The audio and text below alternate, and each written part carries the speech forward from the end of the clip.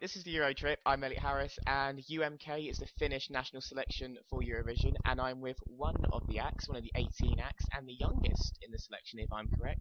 It is Yeah. Attention 2. It's time to go, go, ready for the show, show. Had enough of no, no, ready for the show. Um, well, firstly, UMK, how do you actually pronounce that? Because no one in England can really say it well. Well, I can't. I can't speak a word Finnish, and it's just Finnish to me. So how how is it actually pronounced in your native language, shall we say? well, uh, actually, well, yeah. yeah.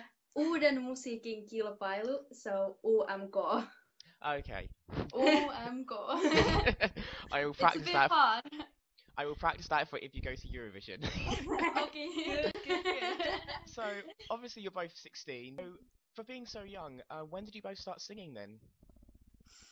Well, Well, we've been singing our whole lives, um, but um, well, this whole duet started uh, this spring, or actually last year spring.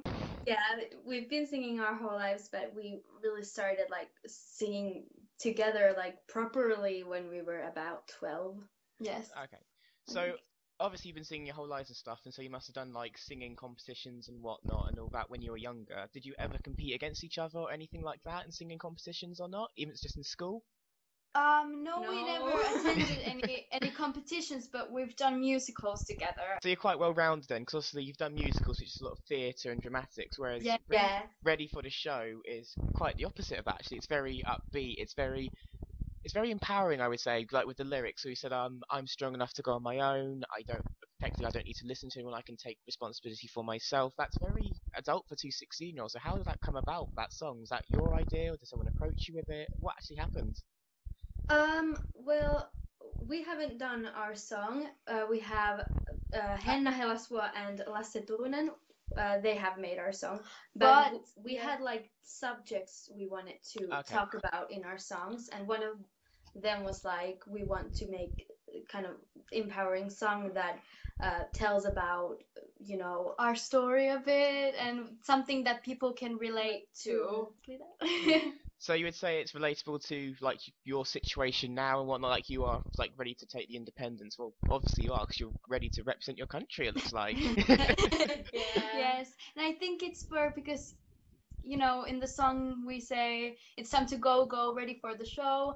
And it's not a show um completely. It can be something like um like a hard obstacle in your life that you just have to go for. Show is just really like something you're aiming towards then. It's not so like Yeah, play a show it's just something you can relate to yourself. Okay emily wants to know um, what was your reaction when you heard that you were through to umk like when you were one of the 18 selected what was your reaction? Well, there's a video uh, in our Twitter uh, from Nina. She, uh, I, uh, actually, the Hari who uh, told us, uh, she rang me first, and I came home from school, and uh, I, was pouring milk. Uh, and I just didn't realize that he was about to tell me that because they told me we hadn't like interview before that, and they told us that um, well about two weeks and then you will know Hmm. seven days after the interview. So I was thinking, oh well, I don't think it's about you know that they were gonna tell us that are we in or are we not.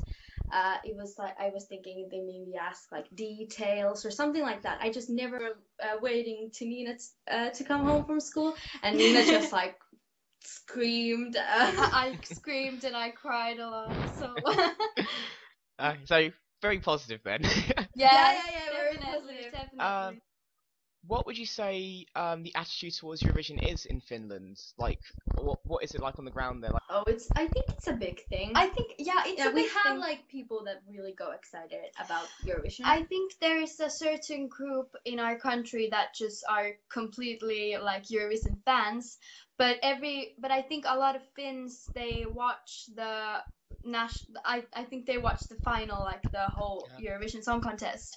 They don't watch UMK that much, but they do watch the Eurovision.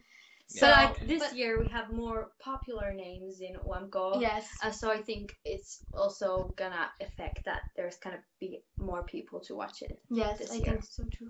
But I think it, th- yeah, there's certain amounts of people who watch a lot of um UMK, but Mm. uh more like they watch the final then. Yeah. In your music video for Ready for the Show, it's all very like comic book based. I noticed, like with the Yeah. sort of like the different squares and all the backgrounds and the um sort of Yeah. writing used. Is that your sort of interpretation for the staging as well? Are we going to see similarities of that on stage in the semi-final and hopefully the final? Uh, it's a secret Yeah. what is happening in the semifinals. But, so. Okay. Uh, I think the energy is the same, you know. You know. In in Ready for the Show, the music video, we have quite a lot of that um the energy and let's go and do this and this. So we have the same in our live shows. I but think we that's don't. Maybe we can tell that we don't have the superhero theme. theme because it would be quite hard to actually do. to like because it was a lot of jumping and kicking and in UMK we should just like sing live of course it would be really difficult to do it So obviously Finland's in the years I've been watching Eurovision has always been a standout nation in the shows, where it's the final or the semi-final. Because obviously in 2013 you had Krista with her with her wedding dress. You yeah. had PKN last year, who are very Yeah. different. 2011 with little Os- Paradise Oskar. Do Mm. you think Finland could again be a standout in Stockholm, like regardless of who goes? Yes, I think what UMK is um reputation. I mean, what they are trying to um to do every year is to bring something different, and I think that shows uh in every year that there is a lot of different acts. Uh, and this year it's definitely a possibility to have something different again. So yeah and wh- whoever gets picked, I think it will be a standout, you know, Yes. performance. Um, going on from that, um, we also want to know, taking your song out of UMK, what is your favourite song in selection? Like, who are you most excited to see? That you, it's also your competition. Oh, that's actually a good question because I'm a fan of all of them. To be honest, I really like I really like all of them. They're awesome people. Um, hmm, what we are most excited about? there's songs that I really like Yes, me too. I think Sandhja, "Sing It Away" is probably one Yeah. of the what I'm most excited about.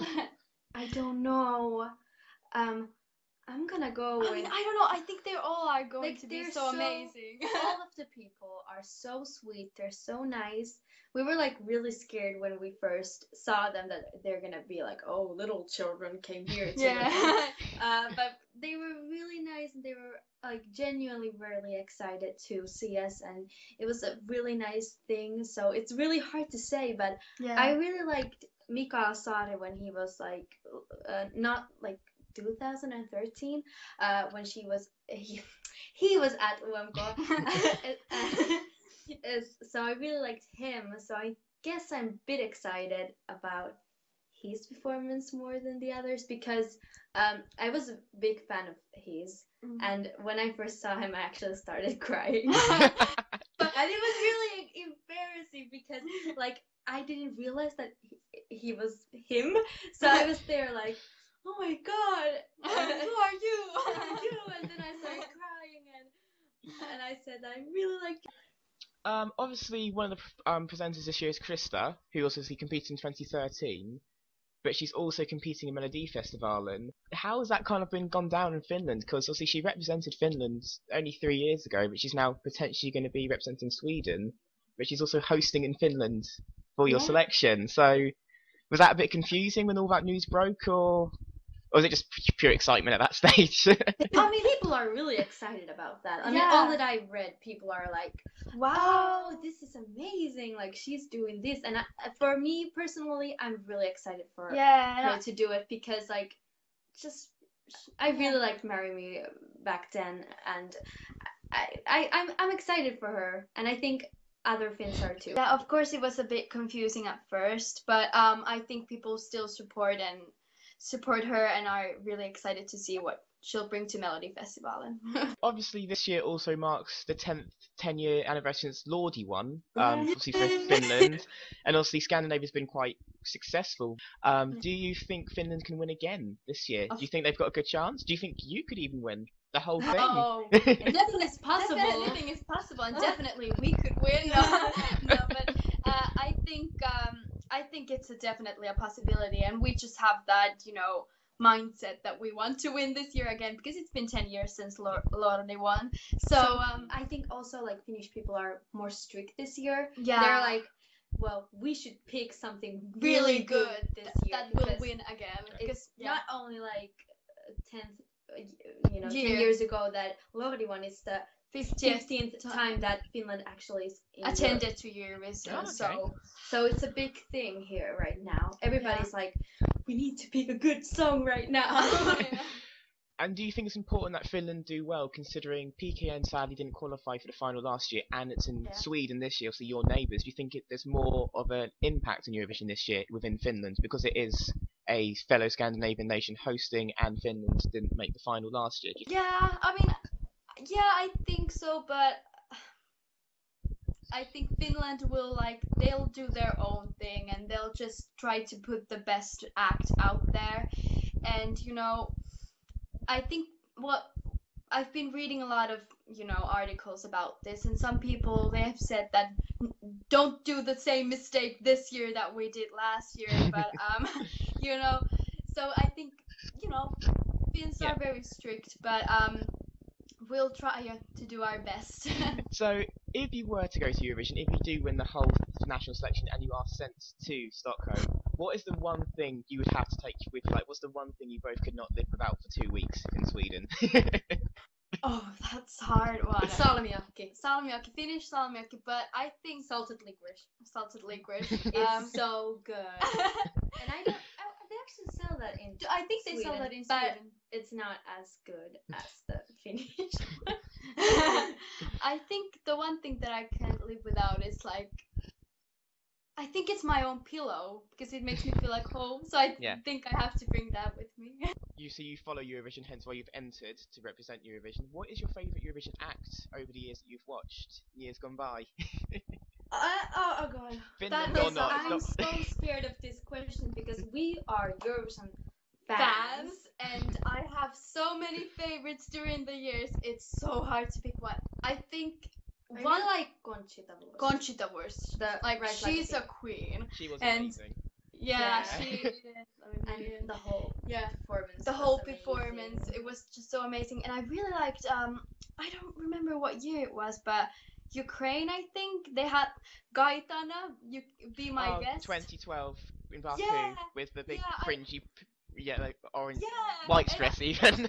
Yeah, Yeah. She was like really excited. I, I song. really liked the She was song. like, Na, na, na, na, na. I just really liked the song, and it, and I, it's a song that I still come back to when I, you know, when I get the Eurovision vibe. I just go back to that song because I really liked it. I can't pronounce it. Um, Måns Måns Zelmerlöw. Zelmerlöw. I'll was- accept any because there's so many different ways the British Yeah, public say but- their name. So yeah, And but I- he was really good. Yeah, and I also have like weird favorites, like uh, uh, uh, Dancing Lasha Tumbai. It's like really good. Uh, and, uh, fan loves It's that. like hard name to pronounce, but the Babushki Party for Everybody, the nanas from Russia. five songs have already been confirmed for Eurovision this year. Have you heard the songs at all? Like any of the five? And if so, do you have any favourites from the five so far? I haven't heard them actually yet. yeah, me either. Because we've been so busy with this, so we haven't had the time to listen to them. But I've seen tweets Yeah, me too. like uh, people talking about them, so Okay. I should probably listen to are them. they any good?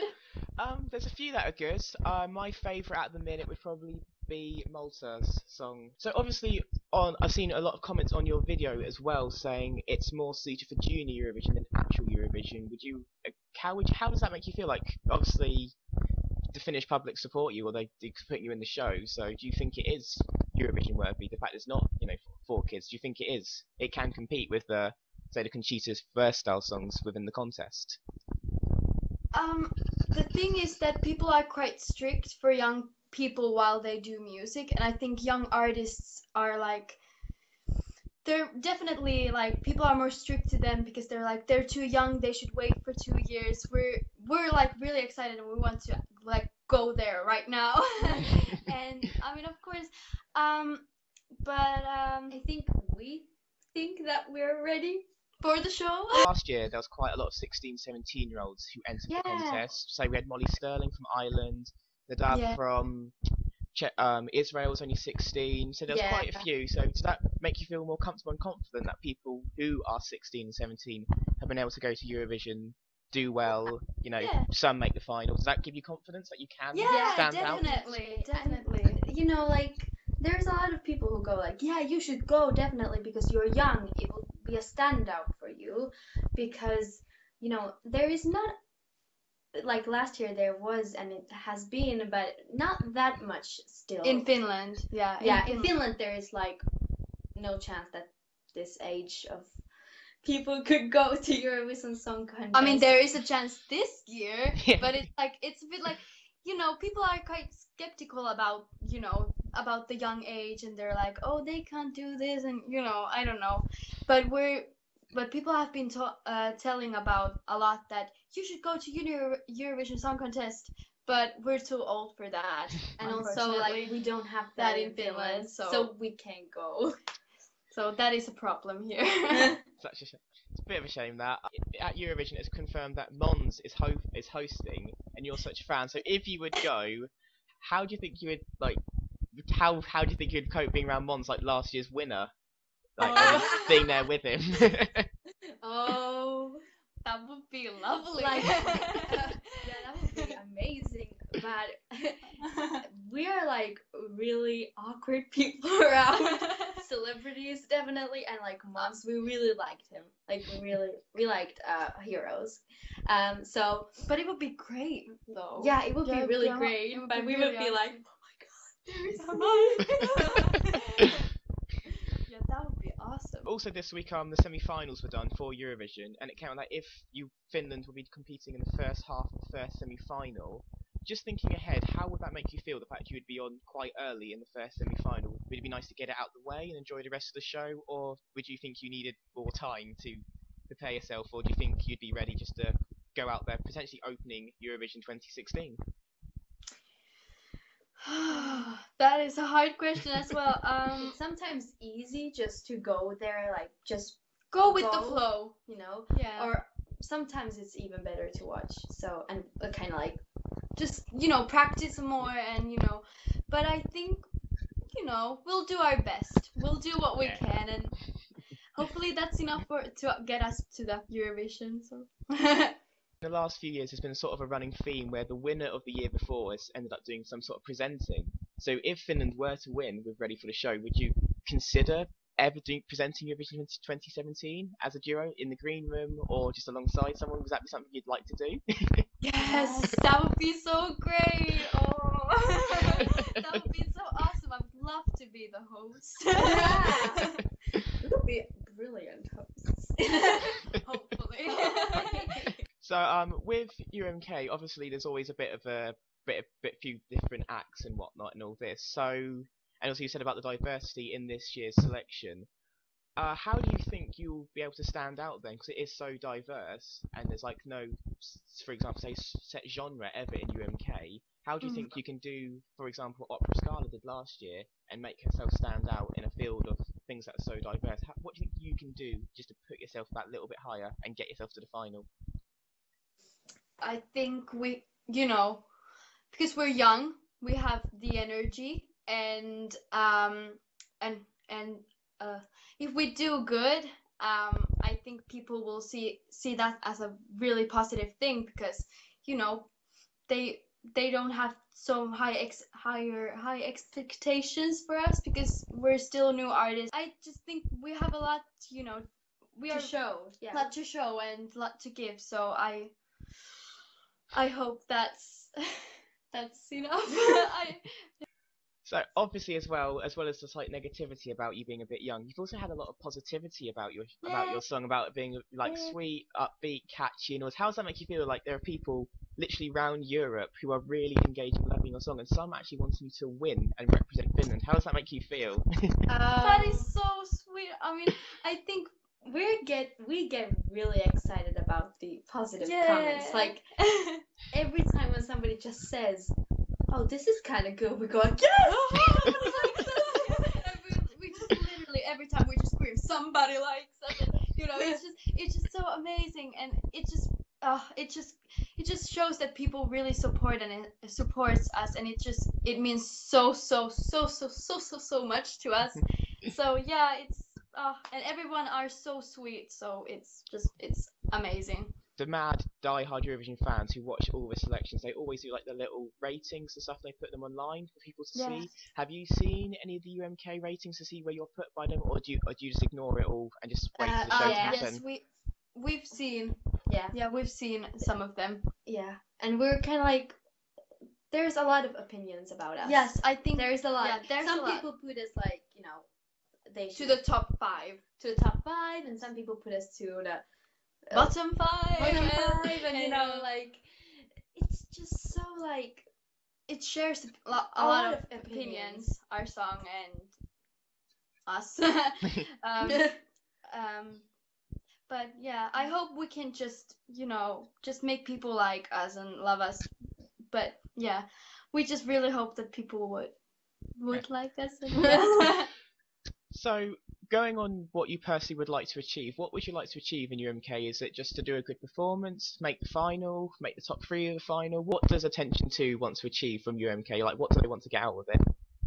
we just want to leave like a like a mark to Eurovision history and potentially win the whole whole shebang. uh, but uh, um, yeah, we just you know Yeah. we just want to you know, Give be a- remembered. be also, remembered like, and give a piece of like us to Finland's music um industry. industry, hopefully. so that that's just like the main deal for us basically.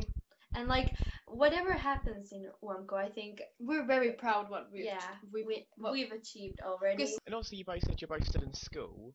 How are you juggling school and getting ready for this? And what does your school think about two of their students are competing in one of the biggest things in Finnish TV? It's been hard, yeah. but like we enjoy every minute of it. Yeah, it's been hard, but you know, we can manage. You know, we're good at school, so it's, you know, we can manage. And uh, everyone in school are just really supportive, and Our teachers and our teachers crazy. are going crazy literally every day.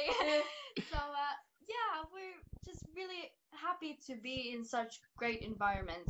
To be honest. And outside of school, this might be a tough question, but like, who do you think your biggest fan is? Like, who is like, who's going to be there with the Attention 2 banners at in, in at the selection? Do you think is it mum and dad? Are they like the biggest fans, or Uh, I think I think our grandma. Ma, she is like the biggest fan. She's like, I'll I'll vote every money I have for you, and just like like she always like when we write something to Facebook uh, on our like uh, Attention 2 she always like shares it and everything she sometimes writes us text messages like I'm so proud of you. I'm so proud of you and like oh I just read this thing and it was so nice and like she's really excited and Yeah. she's also a big Eurovision fan Aw. so it's a big thing for her also because she's always like being like, oh, that would be so nice if you would attend to Eurovision Song Contest, and now we're kind of doing it. So she's really excited.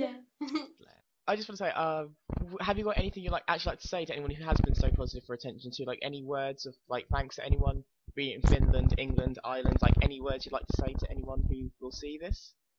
Oh, just a huge thank you to everyone who has been so great and supportive to us.